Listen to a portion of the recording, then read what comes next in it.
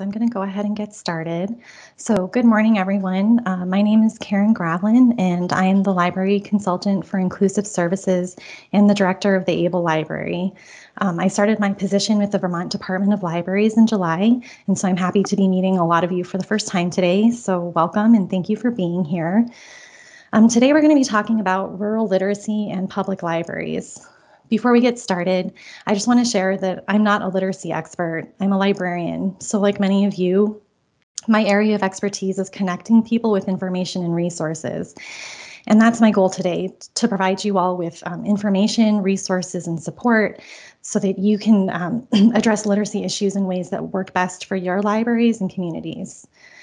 If you have any questions as I'm talking about literacy, please feel free to stop me at any time to ask them. Um, but there also there will also be time at the end um, for questions and discussion. So with that, I'll go ahead and get started. So what is literacy? There are so many different types of literacy that we talk about today, from digital literacy, financial literacy, to media literacy. Um, and these are all very important skills for people to have, but today I'm focusing on a specific definition of literacy. Um, I'm giving you this definition so that we're all on the same page while we talk about this. Um, so literacy, as defined by the National Center for Education Statistics, is the ability to use printed and written information to function in society, to achieve one's goals, and to develop one's knowledge and potential. I appreciate this definition because it goes beyond just being able to read. I think it's important to acknowledge that it isn't the act of reading itself that's necessarily meaningful to people, unless you're a bookworm like me, as I suspect many of you are. Uh, but really, it's all of the things that are possible when we know how to read. It's an essential skill that serves as the foundation, excuse me, for many of the activities we engage in at work, at home, and in our, in, in our leisure time. And I don't think that it's enough to just get by when it comes to literacy. Yes, it's important for people to be able to read and fill out forms, but that level of skill only ensures that people have the bare minimum to survive. When people are literacy proficient, so many more opportunities are opened up to them and to their families and communities.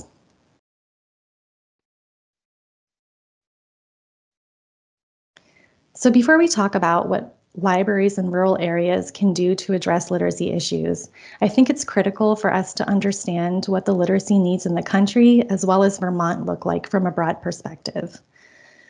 So when we look at childhood literacy in the US, around 34% of children entering kindergarten lack basic skills that lead to literacy, or what we call early literacy skills. These skills include uh, print, print motivation, print awareness, vocabulary, narrative skills, letter knowledge, and phonological awareness. That means that these children are already behind 66% of their peers before they've even begun. It also means that teachers have to work that much harder to get these students up to the same level as their classmates. And by the time children reach fourth grade, 65% of them are reading below their grade level. It's interesting because fourth grade seems to be um, what the magic number when we're talking about childhood literacy. It's considered a watershed year in that if a student is not reading proficiently by fourth grade, they have a 78% chance of never catching up. And when they graduate from high school, only 37% of students are at or above reading proficiency. And we'll talk more about what this means um, for their life outcomes later in the presentation. So unfortunately, we see these numbers play out when we look at literacy levels across for adults in the US. Um, according to the National Center Education for Statistics, 48% of adults read at level three literacy or above. So adults at level three and above are considered fully literate. They're able to evaluate sources as well as infer sophisticated meaning and complex ideas from written sources. Another 33% of adults in the US are at level two literacy. So adults at level two can read well enough to evaluate product reviews and perform other tasks that require comparisons and simple conclusions, but they're unlikely to correctly evaluate the reliability of sources or draw sophisticated conclusions. And another 19% of adults across the US are at or below level one literacy. So adults at or below level one may struggle to understand texts beyond filling out basic forms, and they find it difficult to make inferences from written material. So, in other words, they would have a hard time reading a passage and using the information presented in that passage to draw a conclusion.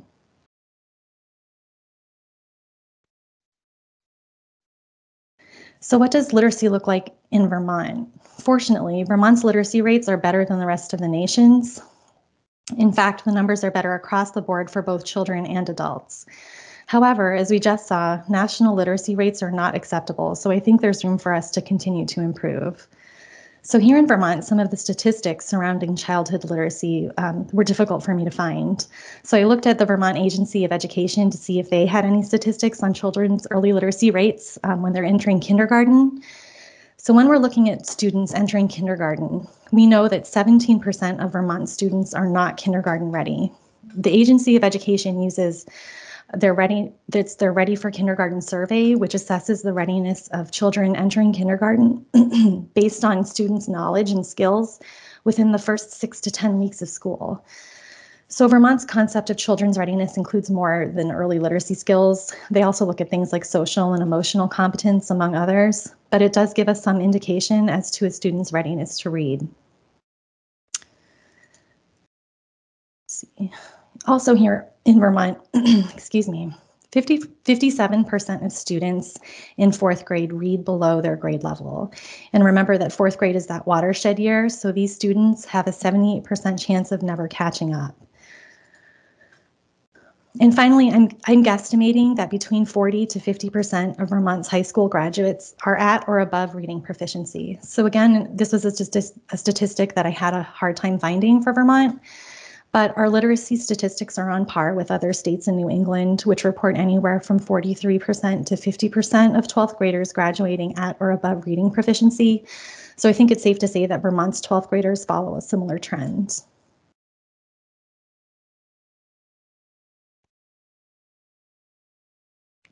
Again, adult literacy levels in Vermont are better than the country's, but I think you'll see that there are still efforts to be made to improve literacy levels within the state. So 54% of adults in Vermont are at or above level three literacy. Um, as I mentioned before, these folks are considered fully literate and can evaluate sources and draw knowledgeable conclusions from reading materials. And 33% of adults in Vermont are at level two literacy. So again, adults at level two can evaluate written materials, make comparisons, and draw simple conclusions based on what they've read and 13% of adults in Vermont are at or below level one literacy. So folks at or below level one may have difficulty filling out basic forms and find it challenging to draw conclusions based on what they've read. And as an additional statistic, here in Vermont as of 2018, nearly 42,000 Vermonters have not graduated from high school, um, 12,000 of whom have not completed ninth grade. So while it's true that we we have a low high school dropout rate, which is fantastic, there's still a large number of people in Vermont who never completed high school. And while adult literacy is important in its own right, it plays a huge factor in generational illiteracy. The National Bureau of Economic Research says 72% of children whose parents have low literacy skills will likely be at the lowest reading levels themselves. So, according to the American Library Association, a child who is a poor reader at the end of first grade has a 90% chance of still being a poor reader at the end of fourth grade. So, why does any of this matter to us in our communities? A lot of people look at the inability to read as a personal failing that doesn't affect anyone but the person who can't read. And unfortunately, that's far from the truth. As I mentioned, as I just mentioned, adults' literacy skills directly affect their children's literacy skills. And I'm going to share some statistics with you that highlight how low literacy affects children throughout their lives. But first, I'd like to share some of the predictors of low literacy skills in children. So as I mentioned, if a child's parents have low literacy skills, that child is 72% more likely to be at a low reading level in school. In fact, researchers funded by the National Institutes of Health found that a mother's reading skill is the greatest determinant of her child's future academic, academic success. And that outweighs other factors such as neighborhood and family income, which I thought was just, that just kind of blew my mind.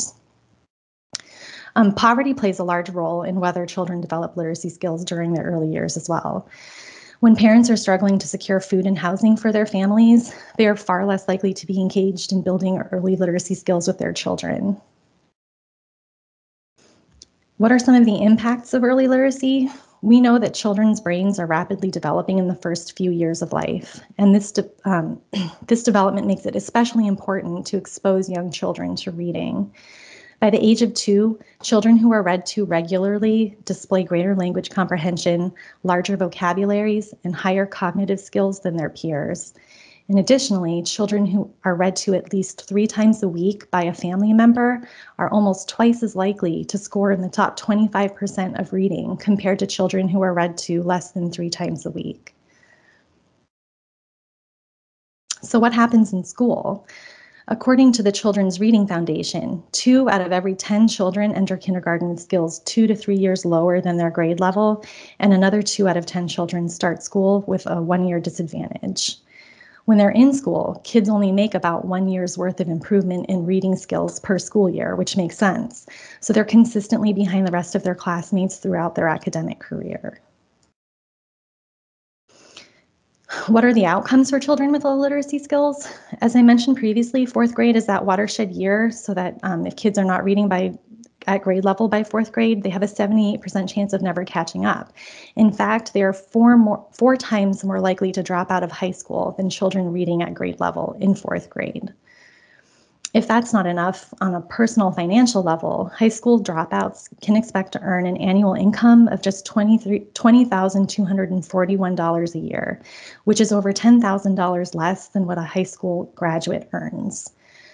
So when we think back to those 42,000 Vermonters who didn't graduate from high school, they're potentially losing more than $420 million a year that they would have earned if they had graduated from high school. From a taxpayer perspective, high school dropouts cost taxpayers an average of $292,000 over a lifetime due to the cost of incarceration and other factors like how much less they pay in taxes. Additionally, research has shown that roughly 78% of juvenile crime is committed by high school dropouts, and 85% of children who interface with the juvenile court system are functionally illiterate.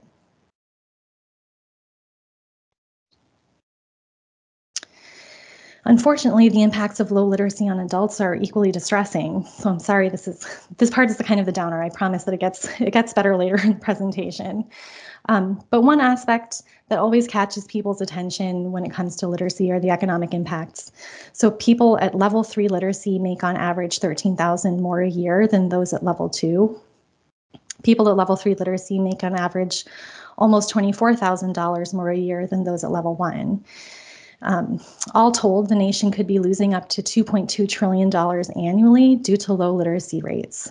And this number is calculated based on the wages people would be earning if they were literacy proficient, the taxes they would be paying on those higher wages, as well as lost productivity in wages, since adults with low literacy skills are more likely to be incarcerated or unemployed. There are also several civic and social impacts of adult low literacy levels. So um, a low literacy level makes it more difficult to understand civic issues and lowers an individual's level of community involvement and civic participation. And this can have long lasting impacts on the health and well being of a community. Everyone should have the ability and opportunity to participate in our civic life because a healthy democracy depends on citizen participation. The US Department of Justice reports that 75% of state prison inmates are either classified as low literate or high school dropouts. The Literacy Project Foundation reported that three out of five people in prison can't read. Individuals with low levels of literacy are more likely to experience poorer employment opportunities and outcomes and lower income. As a result, they often face welfare dependency and higher levels of crime. Furthermore, people with low, a low level of literacy have limited ability to make important informed decisions in everyday life and struggle with tasks such as filling out forms and applications, understanding government policies, and reading medicine or nutritional labels. Um, the repercussions of literacy on health cannot be understated. Studies have found that people with low levels of literacy are more likely to experience adverse health outcomes, have poor health literacy, and practice poor health behaviors. For example, people with low levels of health literacy are more likely to experience higher hospital admission rates, a lack of engagement with health services such as cancer screening, and a lack of understanding and adherence to medical advice. Unfortunately, the recent COVID 19 pandemic has revealed the extent of the lack of health literacy across the country. So during the pandemic, we saw that many people found it difficult to understand and apply the information provided by health professionals and the government. The pandemic highlighted that adequate literacy and health literacy are important in ensuring that people can understand and correctly apply health information to prevent disease, and the failure to do so increases the risk for disease transmission. The end result is literacy is about so much more than not being able to read. It affects people's health, economic stability, and ability to participate in and contribute to our communities.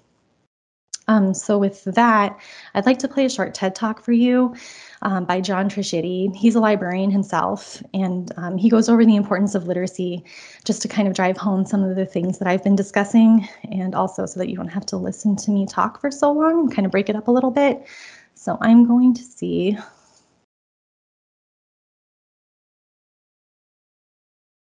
see if I can get my PowerPoint back here.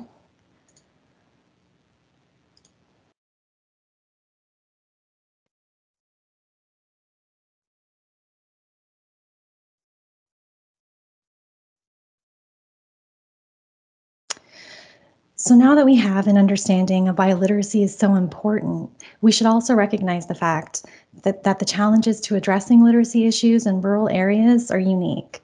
Children in rural areas face some challenges that children in urban areas don't. So, according to the Economic Research Service at the USDA, in 2018, 22.4% of students in non metro schools were in poverty, compared with their metro school counterparts at 17.3%. Um, Save the Children reports that here in Vermont, 18.1% of children living in rural areas live in poverty, as opposed to 8.8% of Vermont children living in urban areas. As previously discussed, poverty plays a role in determining a child's literacy level. So, if rural children are more likely to live in poverty, then they're also more likely to experience literacy challenges. And in 2015, 15.7% uh, of children in Vermont living in rural areas experienced food insecurity. Even though this statistic isn't directly related to literacy, I think it speaks to the more immediate concerns of children and their families and how that might be prioritized over reading and learning. And due to socioeconomic circumstances and the absence of financial flexibility in rural school districts, some children in rural areas lack consistent access to quality early reading opportunities. For example, school districts may not have the time or funding to establish beneficial relationships with places like local public libraries that would enable and encourage families and students to take advantage of those resources, especially at the preschool level.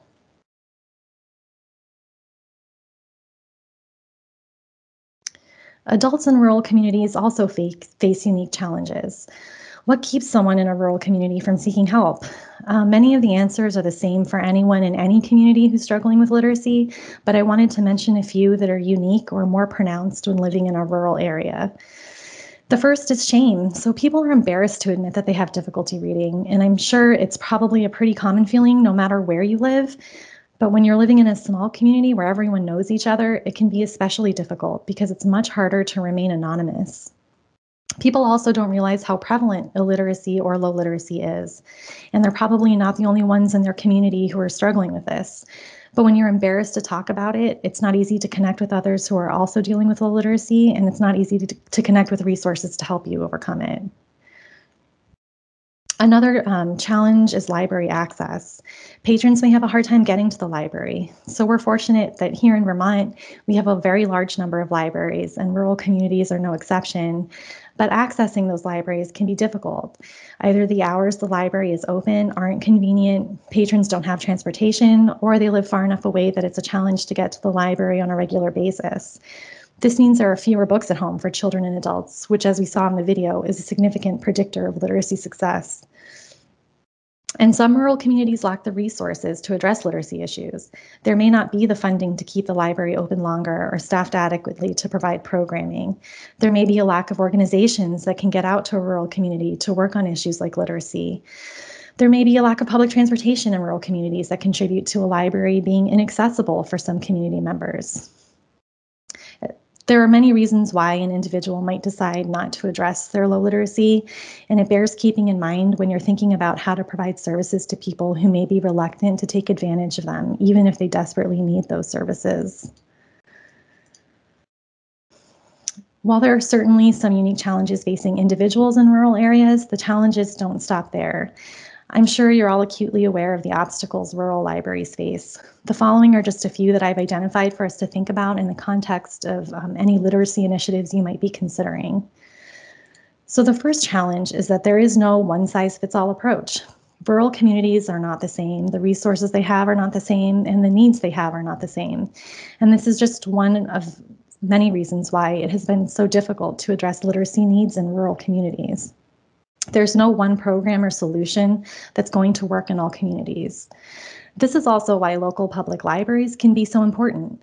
You're the experts in your communities. You know their needs and you know what resources you have and which you're lacking. Isolation is another challenge. It's often difficult to find support because you have a small staff or you're working alone. In a small community, you might be the only person talking about literacy, let alone trying to provide resources towards increasing literacy rates. In more urban areas, there may be multiple libraries and partner organizations that can work together to provide services around literacy, which just isn't as feasible in a rural community. How do you learn about new resources and ideas, collaborate, and stay motivated when you're often working alone? And another challenge is a lack of resources. Small communities they have less resources to put towards literacy initiatives. Um, they have smaller budgets, and a little has to go a long way. Libraries may not have the financial support to do more than provide basic library services, and many librarians are only working part time. And the time that they are working is dedicated to providing those basic library services. And there are fewer supporting organizations within small communities that you can partner with. So what can rural libraries do? My first suggestion is to research demographics in your area if, if that's possible for you. So look at census data. Even though you probably have a good idea of who's living in your community, it can't hurt to take a look at census data and either confirm what you know or learn something new about your community and who lives there. Are you not seeing or reaching certain demographics within your community? For example, are there significantly more children in your community than have library cards? Another great resource is the Barbara Bush Foundation, which has a literacy gap map, and I'll provide the link for that at the end of this presentation. But that map shows literacy rates by county, so you can get a pretty good idea of what your community's literacy rates look like. You can also take a look at state um, and or municipal economic reports. Since we know that poverty and low literacy are linked, this is another good indicator of what's happening in, in your community. And also um, talk to your local industries and businesses because um, they might have a unique perspective on you know what kind of educational needs are they seeing. Are residents in your area workforce ready? If people in your community travel outside of your of your town um, to work you might end up reaching out to businesses in other towns nearby um, just to get that information the next step is to decide what resources you're willing and able to dedicate to improving literacy. Um, how much time can you allot to a literacy program?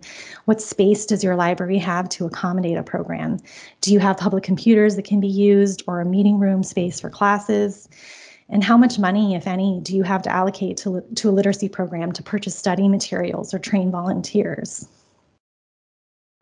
And finally, find out about resources in the community that can help. Um, participants um, of any literacy program might need childcare. Um, they might not be able to attend a, liter a literacy program unless they can find childcare. Um, they might need transportation. Again, think about how easy or difficult it is for the demographic you're trying to reach to get to the library. Um, Community resources can also be outside sources of funding. Can other organizations in your community partner with you um, to provide funding for things like that childcare or that transportation? Or do they have volunteers who are willing to help? So once you've done your initial research and have an idea of what the literacy needs look like in your community and what kind of resources you have to dedicate to a literacy program, you can start to think about the kind of program that makes sense for your library and your community. So if you've determined that the biggest need in your community involves children's literacy, there are a few things you can do depending on your capacity. Um, so some of you might know about Every Child Ready to Read. It's a parent education initiative that's sponsored by the Public Library Association and the Association for Library Service to Children. It provides curriculum and materials for libraries and educa- to educate parents and caregivers about the importance of early literacy and how to nurture pre-reading skills at home. Kind of piggybacking on that is um, WebJunction offers a free self-paced course on supercharged story times, which focus on intentionally including early literacy content in story times that can increase children's later readiness to read. So when you're thinking about story times, there are a lot of components that we just do instinctively because it makes sense or because we've always done it that way.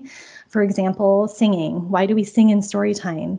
As it turns out, singing is one of the practices of early literacy. So it's just about understanding that and intentionally creating story times that are based on what we know about early literacy. So skills taught in the course include incorporating early literacy components that are key to learning and engaging parents and caregivers in, in early literacy.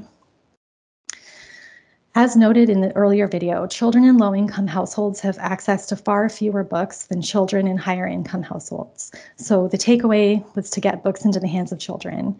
You could try offering deposit collections to local daycares, signing up children for library cards when they enroll in school, or find other ways to get into the community and get books to children. Maybe instead of a huge summer reading prize at the end of the summer, you decide to give every child who registers for summer reading a free book. There are other organizations like the Dolly Parton Imagination Library that might be able to partner with you to provide books to kids as well. And finally, partner with school librarians. School libraries are often invaluable partners and, and, sometimes face more challenging budgets than public libraries. Find ways to partner and provide support. Have them bring the kids to the library as a field trip or offer to bring a program to the school. I worked at a library where we would send out library card applications before the kids came on their field trip and the school would send us the filled out applications before their field trip.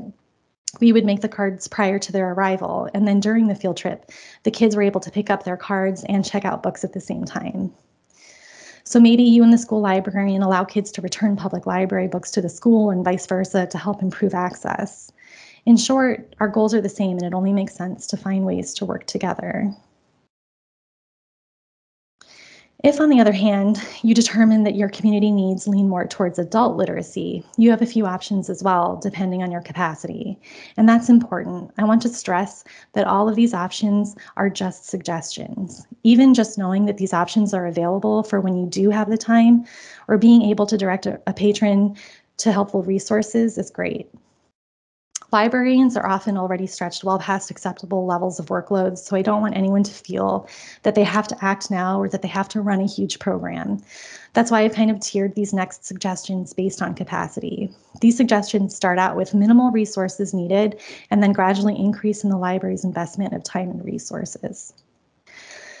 So at a very basic level, your library can be an information center about adult education opportunities, resources, and referrals. In other words, you can create a permanent display or space dedicated to adult literacy. If you do this, um, make sure your display is prominent, current, and fresh. Check on a regular basis for updates, new flyers, etc. You'll also want to change the look of your display every so often so that it remains attractive to patrons and catches people's attention when they walk in. Staff should be prepared to answer questions from your patrons. So instead of redirecting them to the display, staff should be able to answer basic questions and have some knowledge of the resources you're promoting to your patrons. And then if you wanted to have an event or program, you could organize a yearly informational fair and invite some of the organizations you've been promoting to attend and get a chance to provide more in-depth information to your patrons. If you've identified that you have more resources you can dedicate, your library can be an education, adult education and GED support center. So in addition to a permanent display, you could provide some of the materials students would use when learning to read or studying for the GED. There are all sorts of study materials available that you can include in your library collections. You can provide other you can provide other resources like a News for You subscription, which is a newspaper geared towards adult learners. I've seen it used in literacy efforts as well as English, language learning programs. At the next level, your library can be a GED online test practice center. So in addition to providing study materials, you would provide access to online practice tests. And if you have public computers, you would set aside reserved time on them for studying um, for students who are studying for the GED. You can, the next level requires um, a lot more resources and time on the part of libraries and librarians, but you can be a literacy or adult education instructional center. Um, in this case, you would provide classes to students, perhaps in partnership with another organization. And this would involve determining the specific needs of your patrons. Are you going to offer a basic adult literacy program where students lack basic literacy skills and the library program teaches them to read? Are you going to offer a basic adult education program where students have some literacy skills but need improvement in reading and math? Are you going to offer uh, a pre-GED or a GED prep program where the library provides high school level classes to pass the GED? So those are all things that you're going to want to consider um, when you're looking at the needs of your community. And then you can craft a program that targets those specific needs. But if there's an organization in your community that's already addressing literacy or adult educational needs, you don't need to duplicate efforts. So in that case, your library can promote the work of that organization and serve as a post-GED career and, continu and continuing education support center. So you provide job search assistance and continuing education opportunities to your patrons. Again, these are all just suggestions. Maybe one of these ideas sounds like it would work for your library. Maybe you end up doing a combination of things. You might decide to try out supercharged story times and an information display for adults. You can mix and match any of these into something that works for your library and your patrons. The good news is you don't have to reinvent the wheel. As I said in the beginning of this presentation, I'm not a literacy expert and you don't have to be either. I think as librarians, we tend to try to be everything to everyone because we want to make sure that our patrons have the information and resources they need. But there are existing organizations that you can connect with to help you create a program that works for your patrons. And I encourage you to reach out to them and find ways you can partner. I know I mentioned that rural areas may not have some of the organizations within their communities that can help address literacy issues, but I think that that's where libraries can really shine and bring in those organizations and give them a way into the community. So we have um, Vermont Adult Learning, which helps adult learners ages 16 and older, and they do reading, writing, math, and computer skills. They help with earning high school diplomas or GEDs, and their services are available in person and online. Um, Central Vermont Adult Basic Education, they offer instruction in learning basic skills like reading, writing, math, and computer literacy. Um, they do English language that prepares students for US citizenship. They also provide high school uh, diplomas and GED programs and help with college and career readiness. Northeast Kingdom Learning Services offers adult education and literacy programs, and they provide math, reading, and writing skill development, job skill development, um, and they support students' transition to work or college, and many of their services are available, available virtually as well. The Tutorial Center offers assistance in acquiring a high school diploma or GED. They work with um, reading and math skills, workforce, de workforce development, and career planning. On the children's side, the Children's Literacy Foundation, um, they work to inspire read, love of reading and writing for children um, up to age 12 who are low income, at risk, or rural children. And they work both in New Hampshire and Vermont. And finally, there's the um, Vermont Humanities Council. They offer a professional a professional development program called Never Too Early, and that's for early care and education providers, and Read With Me programs for parents of children from birth to age six. So again, these are just some of the organizations that are already working on literacy here in Vermont that you can partner with. It may be that they can come in and train a volunteer you've identified to run a literacy program at the library. Or maybe you offer library space and marketing and they offer a literacy or adult education program. It could be um, that you and two or three other libraries get together and partner with one of these organizations to come up with a program that works for all of your communities. Um, but the takeaway is that it doesn't have to fall only on your shoulders. Um, there are partners out there who can help. So um, while literacy focused organizations seem like a natural partner in any program you're considering for literacy, I think it's also worth looking at other possible partners in your communities. You could try working with your local church. There may be they may be able to provide assistance with childcare or transportation needs that I mentioned earlier. They may also be able to help raise money or awareness. And if you don't have space at your library for a class, your local church may be able to provide that. And they might also have volunteers as well. Um, service clubs like Rotary clubs, Kiwanis, Junior League, those are all other great partners to pursue. Again, they have access to volunteers and can help raise funds or awareness about your literacy program. Local businesses can be great partners as well. Some might be interested in providing a monetary donation. For instance, you could solicit donations towards a summer reading program where that money goes towards purchasing a book for every child. It's good publicity for them and it helps strengthen their community. Um, other nonprofits within your community may be able to provide volunteers, resources, or help you raise awareness about your program. National nonprofits may also be valuable partners. Earlier, I mentioned the Dolly Parton Imagination Library. That organization sends books to registered children from birth to five years old in the mail every month for free, and they get to keep them. Uh, but that particular program would require some financial commitment. But again, it's just one example of how a national organization can be utilized to increase literacy in your community. Um, there are some things to consider. Um, there are some other things that we should be considering what I'm going to share with you is not an exhaustive list, but hopefully it just offers some different perspectives when it comes to literacy that you may or may not have considered.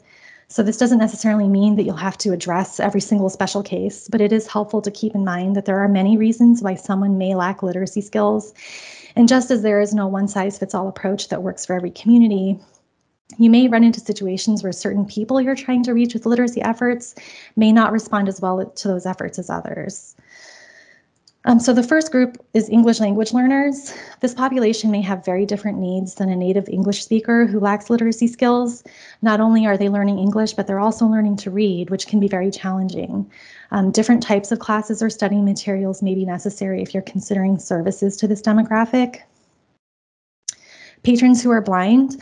Um, people who are born blind may or may not have learned to read Braille. If not, then they're considered illiterate because they can't read for themselves. There are organizations that can help. Specifically, the Vermont Association for the Blind and Visually Impaired comes to mind. They have programs where they teach people how to read Braille and they serve both children and adults. People who are born deaf may be English language learners if they learned American Sign Language as their first language. They'll most likely need to translate the written word to its ASL equivalent when they're reading, which can slow learners down and be very challenging. Learning disabilities can also present a unique challenge to literacy, and they aren't always readily apparent. For some adults, undiagnosed learning disabilities are what prevented them from learning to read in the first place. So these learners may also require different resources in order to be successful. Again, this list by, is by no means exhaustive. It's just meant as a reminder that there are many factors that contribute to a literacy need, and they aren't always what you would first think of. So I would just encourage you to keep in mind to keep these in mind and avoid making assumptions about why or how a person is struggling with literacy skills. So while doing research for this presentation, I came ac across the Barbara Bush Foundation, which is a national organization that focuses on literacy efforts. One of the things that really stuck with me was a quote from the president and CEO of the Barbara Bush Foundation, who said, Low literacy prevents millions of Americans from fully participating in our society and our economy as parents, workers, and citizens. It lies at the core of multi generational cycles of poverty, poor health, and low educational attainment, contributing to the enormous equity gap that exists in our country. Investing in literacy is absolutely critical to the strength of our nation now and for generations to come. It proves that what Barbara Bush said more than 30 years ago is still true today. Literacy is everyone's business, period. So again, thank you so much for your time today. Um, I hope that some of the information that I gave you was helpful um, and that you feel better prepared to address literacy issues in your community. Does anyone have any questions or does anyone have a literacy program they're currently running that they want to share with the group? I'll go ahead and stop sharing.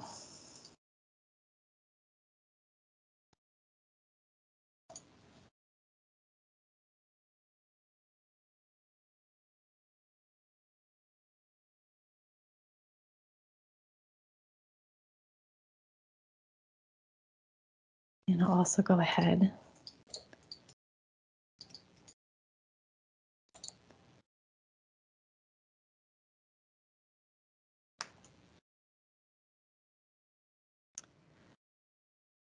And I just shared in the chat, um, oops, no, that's the wrong thing.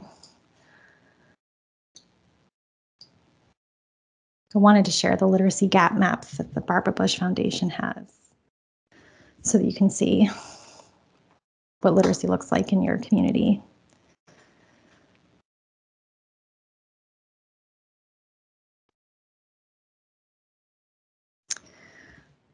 have any questions or um, want to talk more about literacy or want to look at any of the resources that I had, I'm going to go ahead and put my email in the chat as well.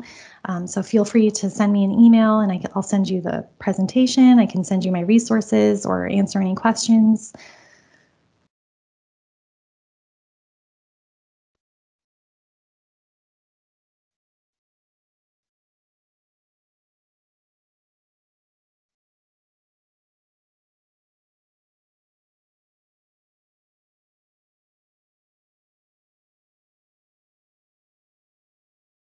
Feel free to write questions or comments in the chat as well. This is an unusually quiet group today.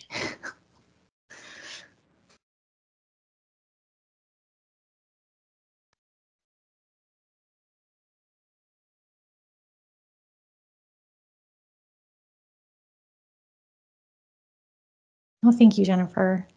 I feel like I just like, was like a wall of information. Yeah, but it was a fantastic wall. Thanks. and Susan shared in the chat um, some early literacy storytime templates if anyone's interested. Oh no, John, yeah, I, I can't hear you at all.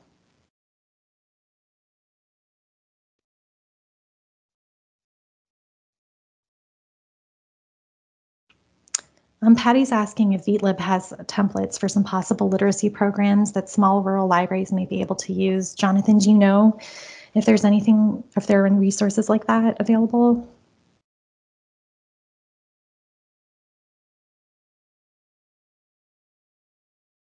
Um, I don't have any offhand, um, but I can, um, there are definitely ones that exist. Um, I don't know that we have any on the website currently, which also um, we are in the in the works of um, we need to update our, the youth services webpage as well and add some resources there. But I can see what I can find. Thank you.